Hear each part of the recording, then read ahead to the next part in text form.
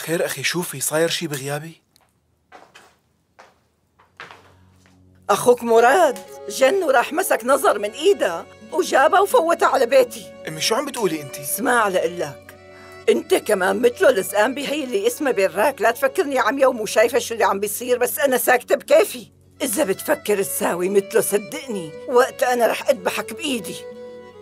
أخي مزبوط هالحكي؟ مراد عن جد عمل هيك؟ إيه. عمل هالعملة ابن ال. أستغفر الله. نظر قاعدة فوق وجميل بأي لحظة بدق الباب علينا. ولحق على مصايب.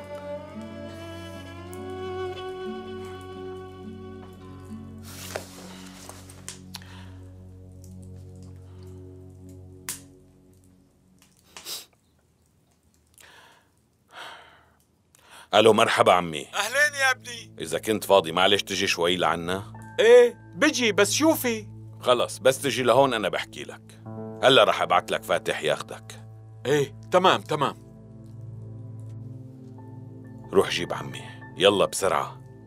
رجال كبير والكل هون بيحترمه ماشي بأمرك. يلا روح.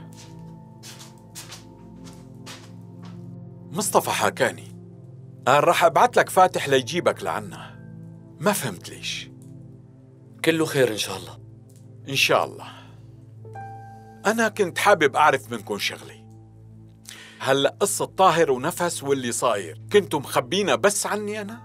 مين بيعرف ومين ما بيعرف؟ اللي بيعرفوا مصطفى والتوأم. وأنا كمان. وبنتي نفس وينها؟ ما بنعرف وينها. يعني كنت بعرف وينها بس رحت بعدين وما لقيتها. أنا ومصطفى رحنا لهنيك لحتى ألو. إيه طيب فوت شوي. ماشي رح ألبس الجاكيت وأطلع دغري لعندك. ماشي ابني يلا. تعالوا معي.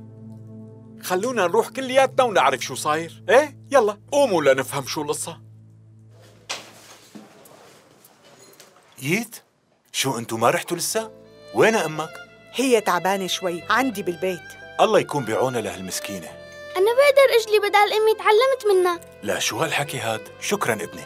أنا كبرت خلاص صار فيني ساعد أمي كمان. ما بكسر الصحون. أنا وبرم كنا دايما نجلي الصحون بدون ما نكسرهم لا تخجلوا للصغير يجلي له كم صحن. طيب ماشي. ييت أنا نازلة على السوق لحتى بيع اللياف وبعدين بيجي باخدك من هون وبنرجع سوا. اتفقنا؟ اتفقنا.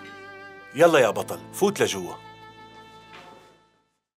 اشتركوا بالقناة لمشاهدة جميع الحلقات ولا تنسوا تفعيل زر الجرس.